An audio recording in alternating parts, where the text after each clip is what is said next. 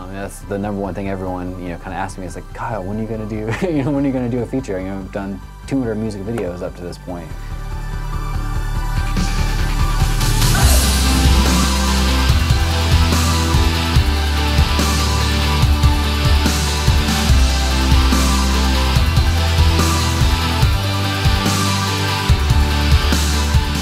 Um, my two favorite directors and it shows in our film are John Hughes and J.J. Abrams.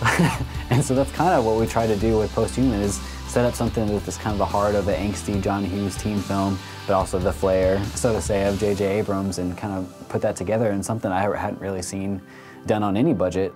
We came with the first draft of our script and then we spent a year fundraising and crowdfunding and doing all kinds of kind of unique stuff through that. 10 months of shooting and 10 months of post-production as well. So it's about two and a half years total from like concept to final product. But The hardest part is making an independent superhero film on a micro budget and everything involved with that. So from lo locations and uh, traveling and having 250 person on a, uh, people on a crew and uh, having food for them and like just everything that I've never done before, all of a sudden doing for you know feature length film.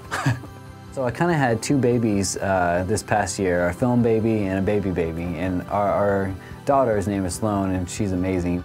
Going through, especially when I was doing the editing for 10 months straight, I would work at least three nights a week till 4 a.m. and it was getting really depressing, honestly. And so just like looking at our daughter and just, I would just forget everything that's going on. So really she was a big part of getting me through this whole thing and something that you know I didn't have any idea going into it that it would do, that she would do that and she's just been she's been amazing and it's done now and I'm really proud of it and people are loving it and so that's that's kind of been all worth it so far.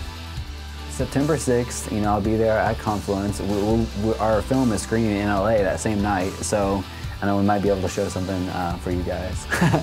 uh, but, but yeah, I'm, I'm excited to talk about, you know, making a homegrown superhero film and how we did that here in Oklahoma and how that can translate not only to just film, but whatever you're doing, growing your audience online.